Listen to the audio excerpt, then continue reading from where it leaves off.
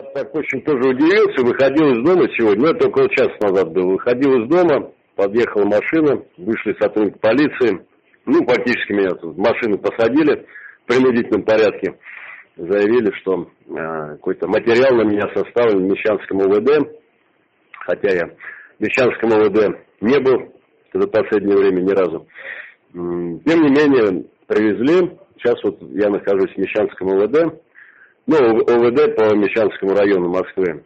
И ничего не объяснять, сижу вот, какой-то административный протокол на меня составляется, якобы за какие-то мероприятия в поддержку Хабаровска. Что, чего, ничего не понятно. Ну, то есть какой-то уже беспредел происходит вопиющий. Ну, вот пока все, что знаю.